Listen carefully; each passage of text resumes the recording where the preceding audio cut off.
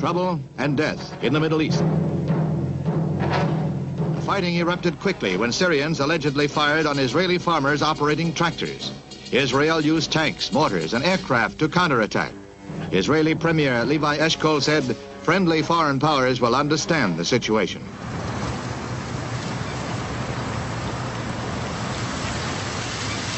In May 1967, the leaders of the Soviet Union took a step that would change the map of the Middle East.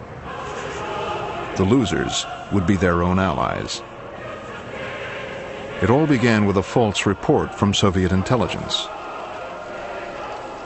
Anwar Sadat, Speaker of the Egyptian Parliament, was in Moscow for talks with Soviet Prime Minister Kosygin. It was a routine trip. Egypt was now firmly in the Soviet camp. Sadat was seen to his plane by the deputy foreign minister. The minister took Sadat aside. He said Israeli troops were massing against Syria. He asked him to report this at once to Nasser. Egypt's president, Gamal Abdel Nasser, was the hero of the Arab world. If Israel was massing troops on the Syrian border, Nasser would be expected to act. He sent for his chief of staff and instructed him to find out what the Israelis were up to.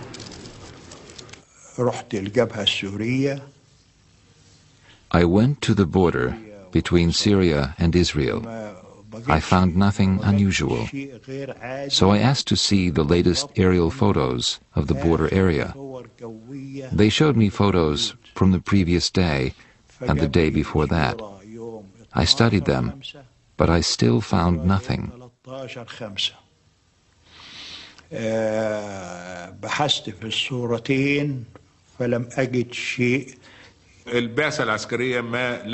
chief of staff found nothing to back up the Soviet report. But then the Soviet ambassador came back to us. He said Soviet intelligence had reconfirmed their report. Israeli troops really were massing on the Syrian border, and the situation was very dangerous. Soviet diplomats spread the alarm throughout the region, even in Israel, as the prime minister and his wife soon found out. It was 2.30 in the morning. A secretary came in looking sleepy. He said, the Soviet ambassador is down in the lobby. He's all dressed up, very formal, and he insists on seeing the Prime Minister right now. I said to Eshkol, let's receive him in our pajamas.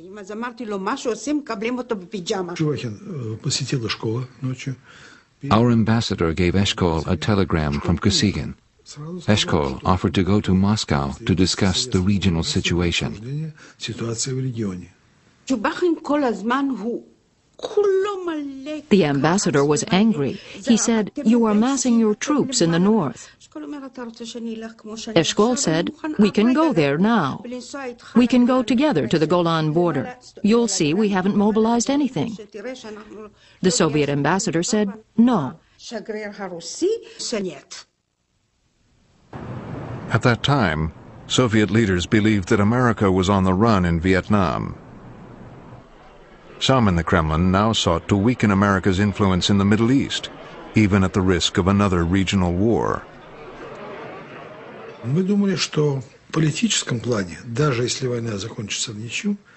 We believed a war could bring us political gains. Even a stalemate could bring us benefits. Egypt had our backing, both political and military. We thought their forces would demonstrate the benefits of Soviet support. So we were confident that the balance of power in the Middle East would be altered by a localized war.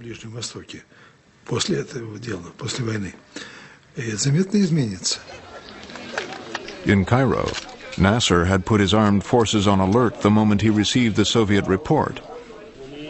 If Moscow's plan was to provoke a war, it seemed to be working.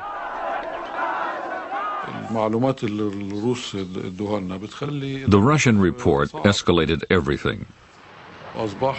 We felt obliged to move troops into the Sinai.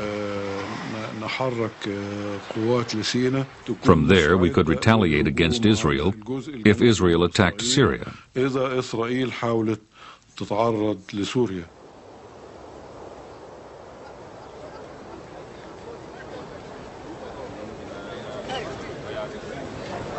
Abdel Nasser did not want a war with Israel. Abdel Nasser was thinking of his image in the Arab world. So he put on a show of strength using the armed forces. Marshal Amer wanted to attack Israel right away. The Arab media had been criticizing Nasser. Some countries had accused Abdul Nasser of hiding behind the United Nations. Since the Suez War of 1956, United Nations troops had provided a buffer on the border between Egypt and Israel. Now Nasser ordered them out the eyes of the world focused on a small harbor at the edge of the Sinai Desert, Sharm el Sheikh.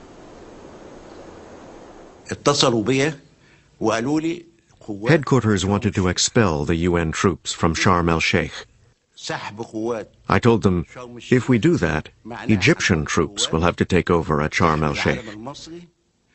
We will then be obliged to close the Straits of Tiran. That will mean war. A blockade at the Straits of Tiran by Egypt could lead to war because the straits at the foot of the Gulf of Aqaba controlled Israel's only trade route to the eastern half of the world. Nasser, in the name of Arab solidarity, was going on the offensive.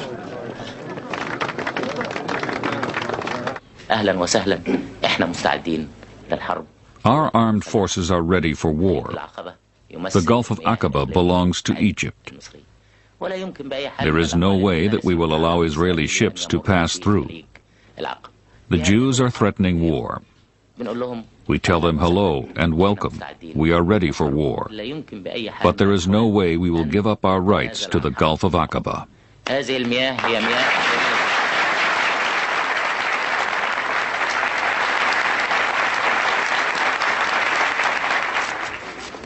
In Israel, the people prepared to defend themselves. Their prime minister, Levi Eshkol, summoned his cabinet and military commanders. ואני הודעתי לו, אמרתי לו, I told him, until now, I was not sure what was going to happen. But after the Egyptians close the straits, I'm sure the situation will develop into a war. The straits are a casus belli for us. And I told him firmly that this will be their end. This will be their grave. We commanders told him, We have no choice. We have to mobilize. We have to launch an attack within 72 hours. If we give the Egyptians more time, they will pack the Sinai with more and more divisions. The general saw Israel becoming increasingly vulnerable. The chief of staff, General Rabin, was very worried. He smokes a great number of cigarettes and he ate nearly all the, the nuts and raisins in the little basket there. And um, he was very worried because, not because he doubted the result of the war, but because uh, we were really very unprepared for war. Rabin asked Abba Eban for a diplomatic solution. Rabin had said we were really not prepared for war. And um, second, there should still be some attempt to avoid it by exercising warnings and pressures upon the Egyptians. And uh, then uh, Mr. Eshkol sent me a note saying, What are you doing here? Prime Minister Eshkol dispatched Abba Eban to seek the help of Israel's key allies. He wanted an international fleet to keep the straits open to prevent war. I've been asked by my government to uh, explore uh, what these governments intend to do in order to reopen this international waterway to what a situation do you of want the law. United States to do, sir? Well, uh, I've come here really to find out what the United States intends to do. President Johnson made it clear that he didn't want Israel to attack first. The president had said to Dean Rusk and me, and I'm going to speak rather crudely, get Eban in here, into the family quarters of the White House, so we can work him over.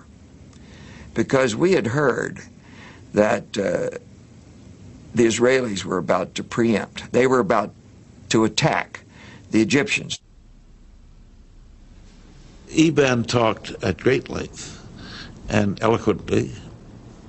He always spoke eloquently and he always spoke at great length. But what he had to say was very simple. This was a mortal crisis for Israel, and he wanted to know what the United States was prepared to do. The president, he simply expressed skepticism about the idea that Israel was in danger. He said, You are not in danger. You are in a very difficult situation, but you are not in peril. He said to Eban, We do not believe that Egypt is about to attack Israel. Moreover, if it does, you'll lick lick 'em. To make the point, President Johnson asked for the Defense Department's assessment of the likely outcome of a Middle East war. We had concluded that if Israel preempted, they could win clearly in a period of about uh, seven days, as I remember. We had also estimated that if they did not preempt and Egypt attacked first, that uh, it would take somewhat longer, perhaps uh, 10 to 14 days. Then the president took out a piece of paper and started reading from it as though this was some kind of a sacred text. And uh, what this document said was Israel will not be alone unless it decides to be alone. If you go alone, you'll stand alone. That was a very cold blooded statement. We will not come to your defense if you preempt. We cannot come to your defense if you preempt. As Israel received its warning in the White House, an Egyptian delegation was heading towards the Kremlin. We didn't even see Moscow. We were driven in cars with the curtains drawn, straight into the Kremlin. The Egyptians were self-assured. Shams Badran eh, exuded confidence. He said that if war came, the Egyptian military could handle it. In fact, he described the army like a wild horse, raring to go. But the Soviets warned the Egyptians not to be seen as the aggressors. Prime Minister Kosygin said, Tell Nasser, if he strikes first, he will escalate the conflict. He will provoke the superpowers. America will not stand aside.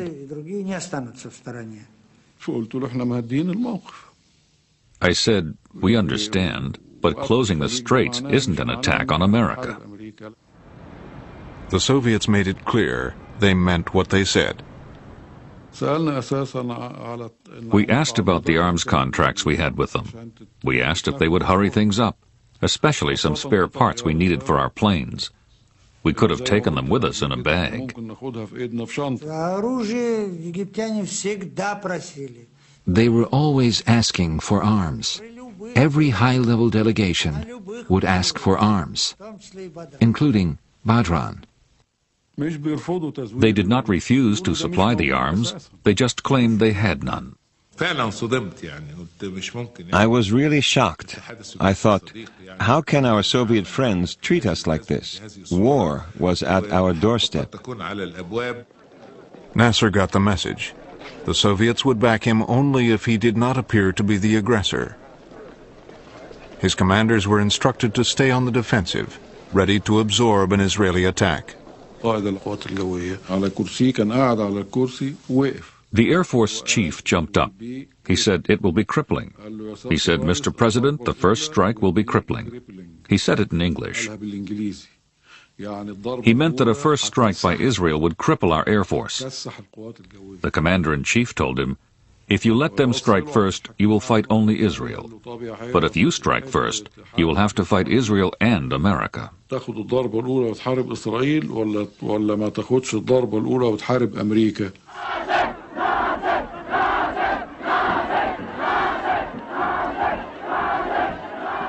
But the war fever in Cairo had become unstoppable. Popular hatred of Israel, which Nasser did nothing to discourage, now swept him forward and drove other Arab rulers to his side. Even King Hussein of Jordan, for years at odds with Nasser, decided he could no longer stand aloof. In the morning, I got into my uh, aircraft and, uh, and flew it to Cairo. And I was met by the president. I was in uh, military fatigues uh, with my gun uh, on. And he said, Well, I see you're carrying a gun. I said, I've been like that for the last few days with my troops. And then he made a strange remark. What would happen if we suddenly took you prisoner and uh, denied uh, all knowledge of your arriving in this country? Soon after, King Hussein signed a mutual defense treaty with Nasser and agreed to put his army under Egyptian command.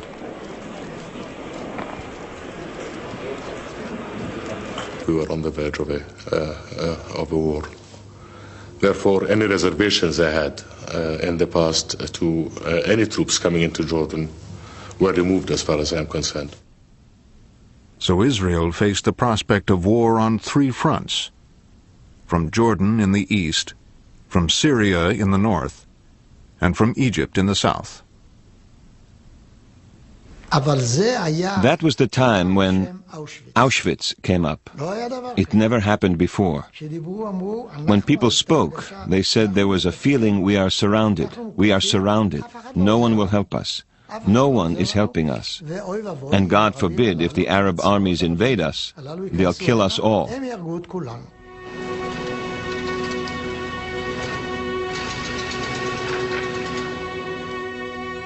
By this point, Israel had been mobilized for more than two weeks. All males aged 18 to 55 were called to serve.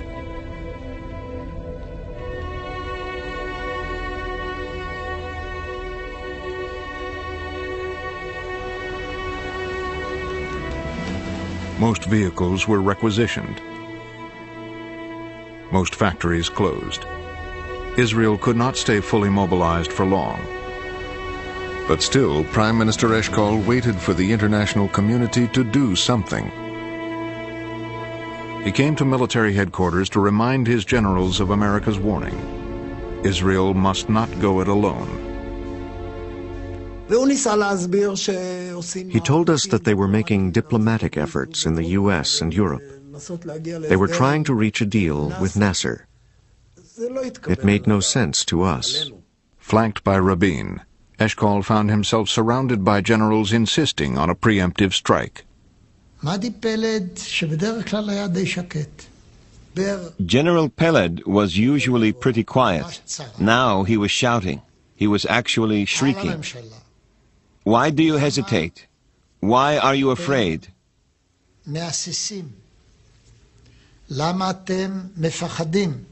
I said, Eshkol, you have the best army since King David.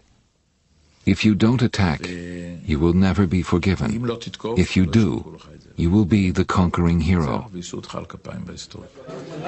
To regain the confidence of his generals, Prime Minister Eshkol appointed a new Minister of Defense, Moshe Dayan, hero of the 1956 Suez War.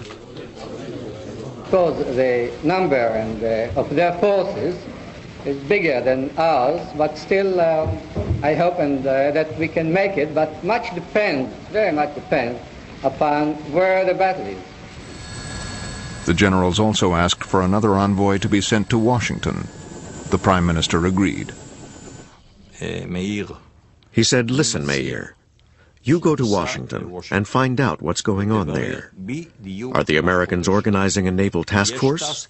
Is anybody going to do anything? When? Amit's mission was to see if the Americans planned to open the Straits of Tiran or if Israel would have to act alone. The Pentagon had quite enough trouble in Vietnam and didn't want another war. The director of the CIA made it perfectly clear. There is no international naval force. There are no American plans for action.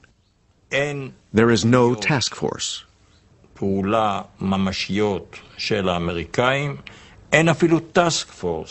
the head of the Mossad, Israel's intelligence agency, called on the Secretary of Defense. I said to him, you know our situation. I am here on the instruction of my Prime Minister. He was doing most of the talking. I did uh, Uh, ask one or two questions. At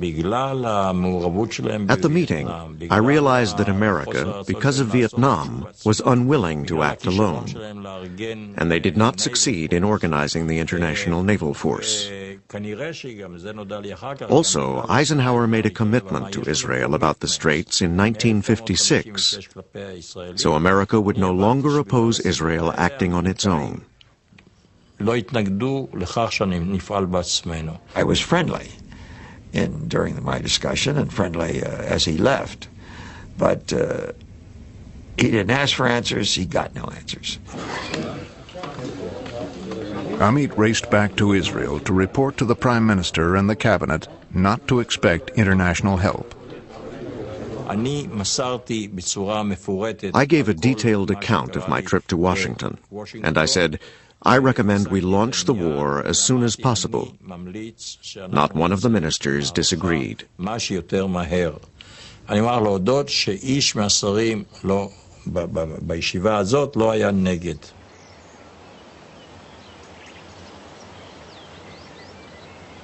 ואז כמו שתמיד היינו עושים את אותם הסיבובים. We went for our usual walk. פתאום אשכול Suddenly, Eshkol starts humming. He was completely tone deaf. He had this Hasidic song he liked to sing. He sang it over and over again.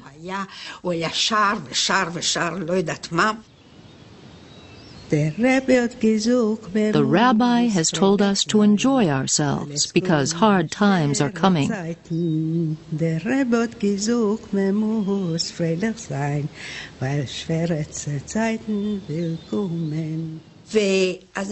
So I asked him, What's happening, dearest? And he told me tomorrow the war will start. There will be widows, there will be orphans, there will be bereaved parents. Who knows what tomorrow will bring? The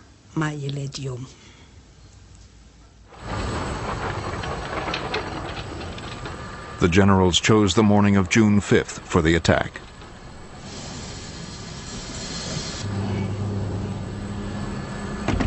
The Chief of Staff and I took a decision. On the night of June 4th, we would sleep at home. The tom-toms in Israel work like in the jungle. If the Chief of Staff and Air Force Chief both come home, word gets round that tomorrow is going to be quiet. That was the commander's bedtime message.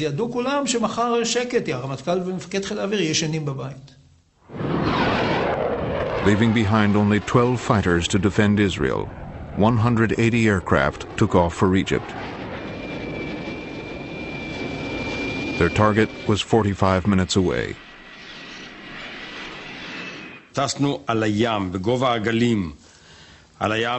We observed total radio silence. We flew at the height of the waves for about 15 minutes. We flew low over the sand dunes. We crossed the Suez Canal at Kantara and entered the delta. As we flew over the delta, farmers waved to us. They probably thought we were Egyptian. Most of the Israeli squadrons flew out to sea far to the west. They had extra fuel tanks to enable them to approach Egypt's air bases from an unexpected direction. That was the longest 45 minutes in my life. The hands on my watch didn't seem to move. They went very slowly. As the Israeli bombers approached their targets, the Egyptians received a coded message from Jordan. They spotted Israeli planes heading towards us. So they sent us a signal from their radar base to warn us. The signal was in code. Our codes had changed the day before, and we had real trouble decoding it. The Ministry of Defense asked the air defense people what they had done with the signal they had received. It had the code word grape. They replied, What signal? Eh? At exactly 0745, we pulled up to 6,000 feet. I looked down and saw the MiGs glinting on the edges of the runway. The pilots were sitting inside the cockpits. I knew we had caught them by surprise.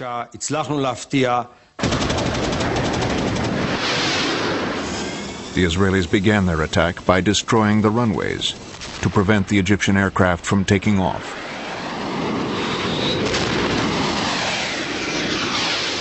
The few that did get off the ground were no match for the Israeli fighters.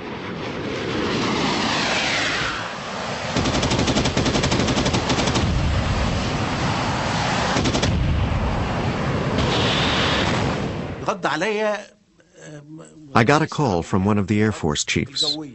He said, Nofel, Nofel. I said, yes, sir. He said, our airfields are being attacked. I said, what the hell are you talking about? He said, our airfields are being attacked. I said, our airfields? He said, the airfields in the Sinai are being attacked. I said, all the Sinai airfields? Tell me it's not true. And he said, Believe me, all the airfields are being attacked. I hung up. The phone rang again. It was another commander. He said, We're being attacked. So I said to myself, Well, something must be going on. But I was all alone. He was alone because the head of the Egyptian armed forces, Marshal Amer, had left with the Minister of War and his top brass to inspect their positions in the Sinai.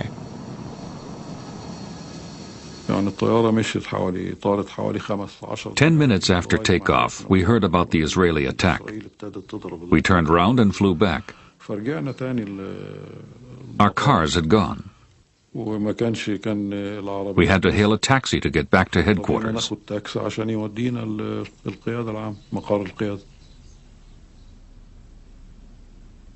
By the time Marshal Amer's taxi got him back to headquarters, Egypt's Air Force was destroyed.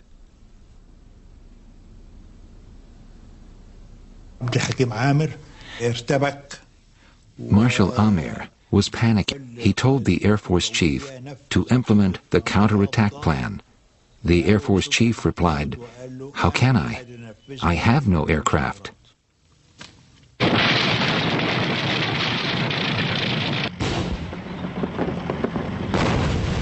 In the Sinai, Egypt had three times as many tanks as Israel, but with no air cover, their situation was dire. Marshal Amer told me, draw up a plan of retreat. Bring the troops back across the canal. Marshal Amer had been a close friend of President Nasser for more than 20 years. They had fought together as young officers. Together they had planned the coup which brought down the Egyptian monarchy. Now the defeated president phoned his defeated army commander. I was the only other person there. Amer was in tears. He was calling Nasser by his first name. He said, Let me bring our boys back safely, Gamal. When he put the phone down, I asked, Why are you crying? He told me Nasser had said, Forgive me, Hakim. I caused this catastrophe. Forgive me, Hakim. Abdul Nasser had been crying too. Marshal Amer didn't wait for his chief of staff to plan a retreat. He simply picked up the phone and gave the order himself.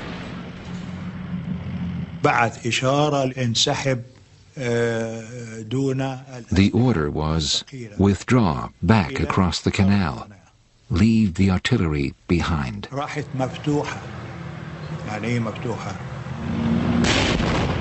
Marshal Amer's order was a disaster.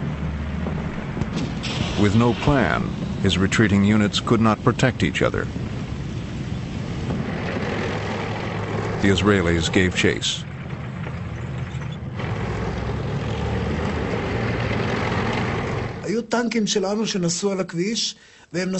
Our tanks had Egyptian tanks in front and behind them. We attacked them from the ground and from the air. Thousands were destroyed. They were all burning. It was a terrible sight. Three hundred thirty-eight Israelis were killed, but the Egyptian dead numbered 15,000.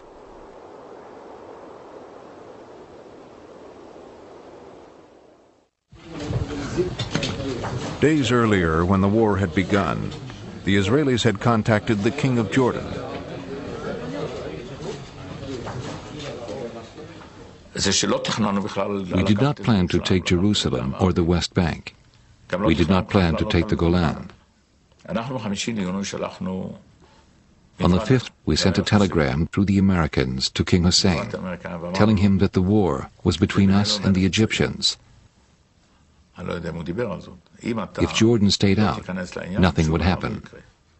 But at about 10.30, he started shelling Jerusalem.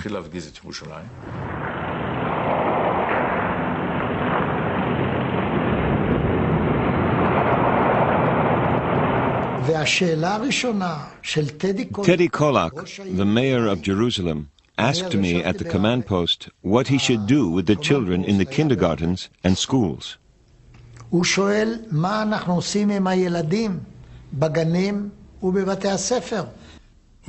the command post, we looked at each other. We said, This is not nice. We'll take on Hussein. The deputy chief of staff called me. He said, Uzi, you are authorized to enter the old city. You have to be quick and use your head.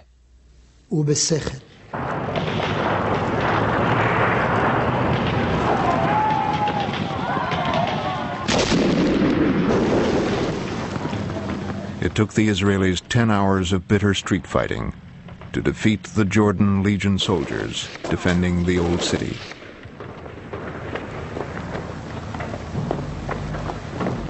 Once the troops had broken through to the Wailing Wall, keeping the city united under Israel's rule became the basic goal of the government.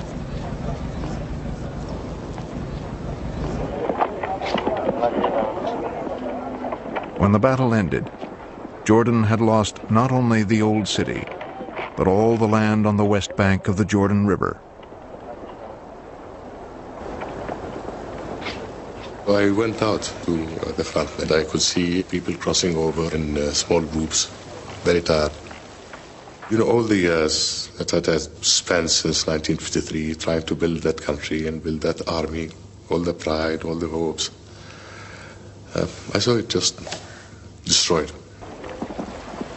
I never received a more crushing blow than that.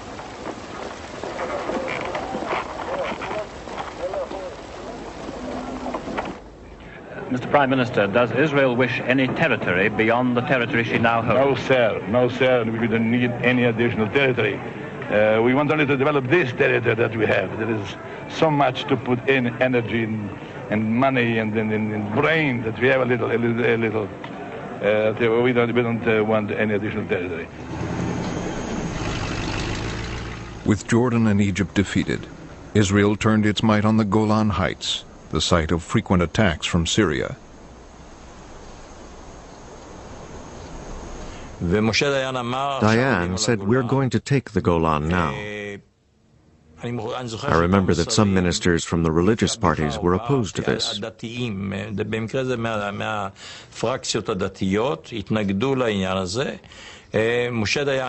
Dayan was adamant. He said, We're not going to lose time. I've delayed it this long because we wanted to finish with the Egyptians and Jordanians. We threw everything we had at the Golan Heights. In 12 hours, we dropped more bombs on the Golan than we had on all the Egyptian airfields.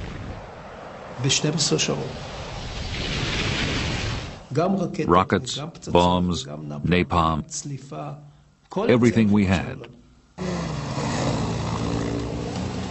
The whole war had been sparked by a false Soviet report of a threat to Syria. Now that Israel was actually attacking Syria, the Soviets were forced to react. Word came through the hotline was up, and I didn't know what it was about because I, I thought that the war was pretty well over. Nevertheless, I went back immediately to the White House. The usual suspects were there, McNamara and, and the rest. And we had a, a rather hairy message from the Russians. The Soviets made very clear they would intervene militarily. And very likely they would not only turn Israel back from its attack on Syria, but they would join Syria in an effort to, uh, to deal a mortal blow to Israel. It was a very, very dangerous situation. The Soviets did not seem to be bluffing. Strategic Bomber Command in the Ukraine had received orders to prepare four squadrons to fly to the battle zone. It was all arranged in a great hurry.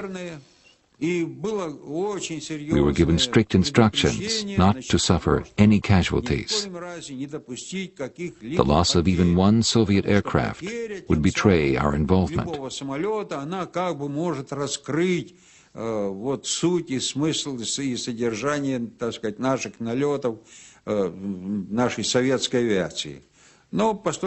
But we saw this was unrealistic, so we had to find another way.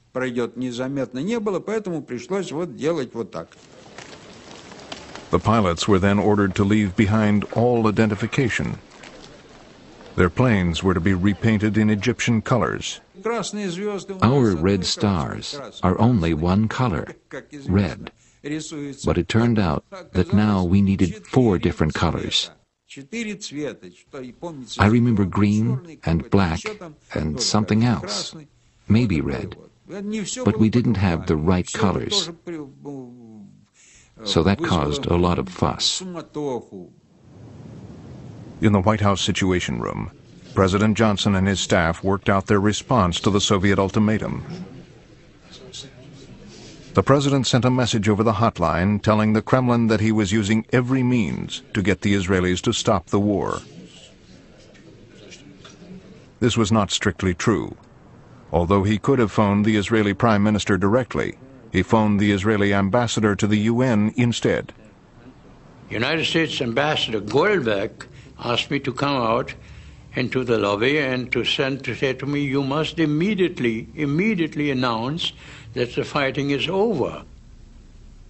This was not within the Israeli ambassador's power, so he asked his boss, Abba Eban, to phone the prime minister.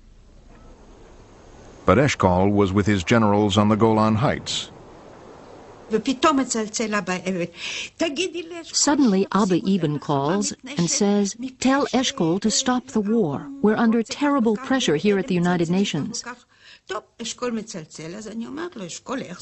Then Eshkol calls me and he says, Ah, this Golan is absolutely fantastic. The view is wonderful. He waxes lyrical about it. And I tell him, Eshkol, listen, Eban wants you to stop the war. He can't take the pressure. He said, I can't hear you. What do you mean you can't hear me? I'm telling you in Eban's exact words. He says, I can't hear you, I can't hear you. It's a bad line, it's a bad line. I'll come home and then we'll talk. And then I understood. They wanted time to conquer some more kilometers. The Israelis pressed on into the Golan and encountered no Soviet forces because President Johnson had raised the stakes. He asked McNamara what distance from the Syrian coast the fleet, American fleet, was at the time, and he said 100 miles. It was steaming toward, uh, toward Gibraltar on a training exercise.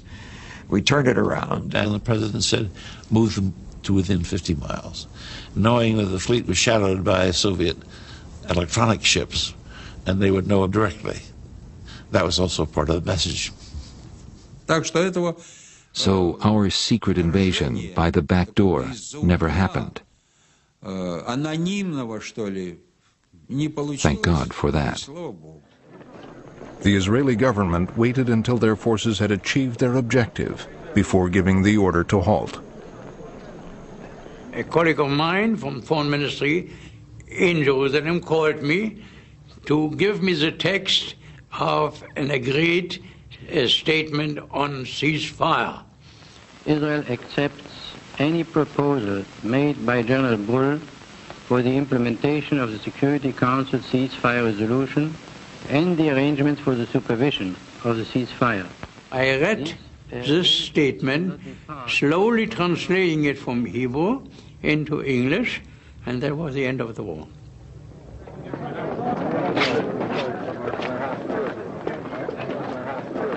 In six days, the armed forces had quadrupled the territory Israel controlled.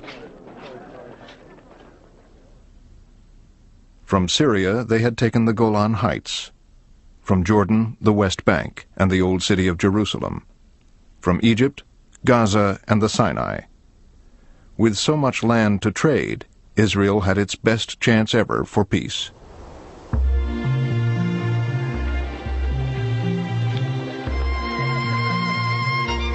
Israelis flocked to the Old City. To them, the victory was a deliverance from destruction.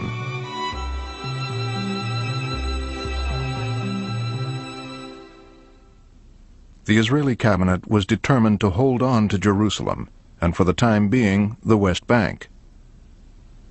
But in exchange for peace, they were willing to give back the Golan Heights to Syria and the Sinai Desert to Egypt.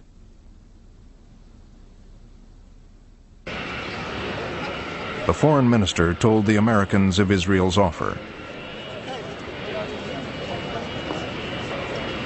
When I presented these to a meeting headed by uh, Dean Rusk and Goldberg and Sisco, uh, in general they were astonished by the fact that we were clearly not in the mood of annexation.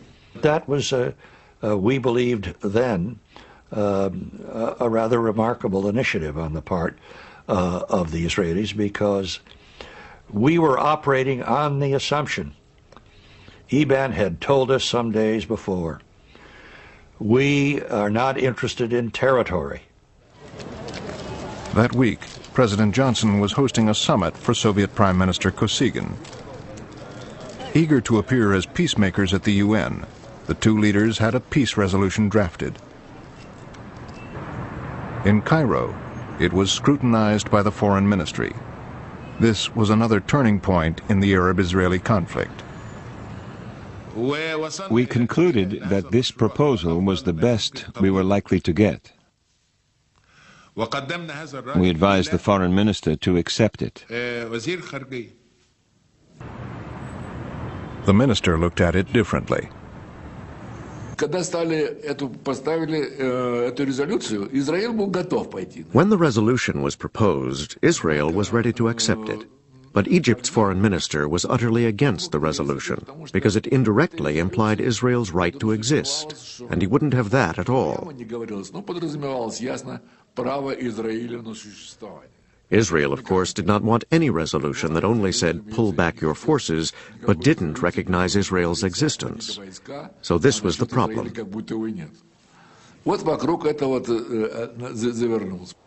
But recognizing Israel was not on Nasser's agenda. Following Egypt's defeat, he had more immediate problems at home. Abdul Nasser said, We've lost.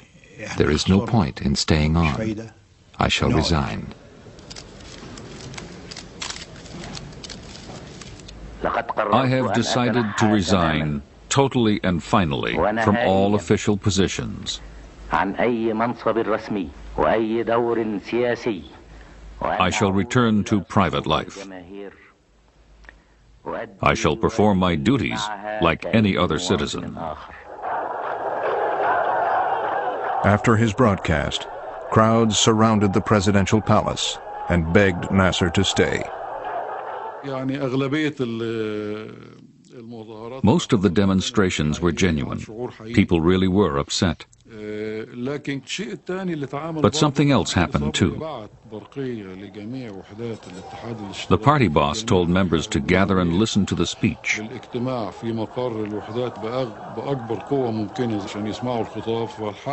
After the speech, they took to the streets and chanted, We want Nasser, no leader but Nasser. Nasser stayed on as president. His old friend Marshal Amer became the scapegoat. He refused to resign, so Nasser had him arrested. He died in custody. It was said in Cairo he was suicided. Shortly after, Nasser rejected the Soviet-American peace plan. Nasser could not bring himself to accept the peace plan. He was a hero to the Arabs. He couldn't be seen negotiating with the Israelis. Three months later, Arab leaders met to formulate a unified policy towards Israel. Nasser, still the idol of the Arab world, was subdued. I found him a different man. I noticed from the outset that uh, he felt uh, a great sense of guilt the Arabs agreed to reject any compromise with Israel. The decision by the Arab countries uh, not to negotiate with Israel, uh, not to make peace with Israel, and uh, not to recognize uh, Israel. With no recognition, no negotiation, and no peace, it was only a matter of time before war would break out again. I found nothing unusual. So I asked to see the latest aerial photos of the border area. They showed me photos from the previous day and the day before that. I studied them, but I still found nothing.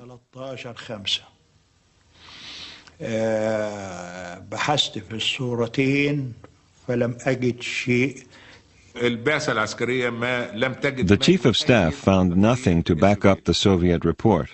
But then the Soviet ambassador came back to us. He said Soviet intelligence had reconfirmed their report. Israeli troops really were massing on the Syrian border, and the situation was very dangerous. Soviet diplomats spread the alarm throughout the region even in Israel. We can go together to the Golan border. You'll see we haven't mobilized anything. The Soviet ambassador said no.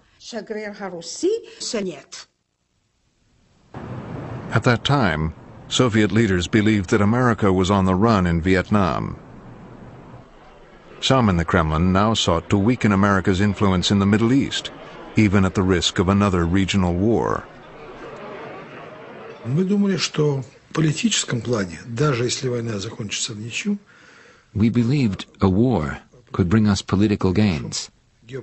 Even a stalemate could bring us benefits. Egypt had our backing, both political and military.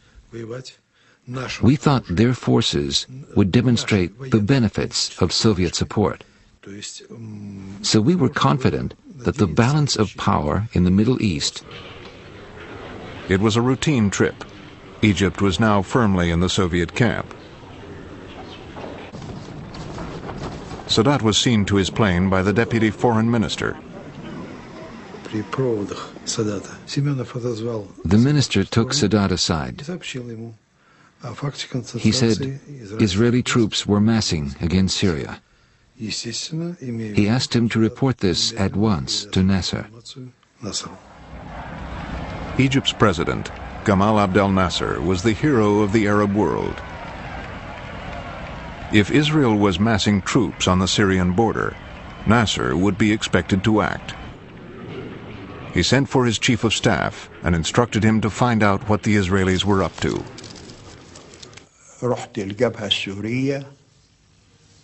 I went to the border between Syria and Israel.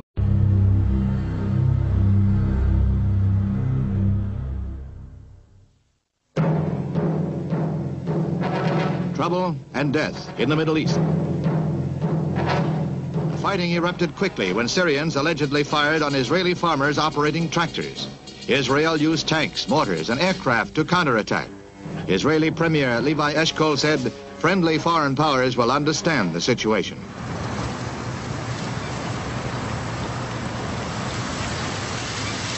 In May 1967, the leaders of the Soviet Union took a step that would change the map of the Middle East. The losers would be their own allies. It all began with a false report from Soviet intelligence. Anwar Sadat, Speaker of the Egyptian Parliament, was in Moscow for talks with Soviet Prime Minister Kosygin, as the Prime Minister and his wife soon found out. It was 2.30 in the morning. A secretary came in looking sleepy. He said, the Soviet ambassador is down in the lobby. He's all dressed up, very formal, and he insists on seeing the Prime Minister right now. I said to Eshkol, let's receive him in our pajamas. Жвакин посетила школу ночью. Our ambassador gave Eshkol a telegram from Kosygin. Eshkol offered to go to Moscow to discuss the regional situation.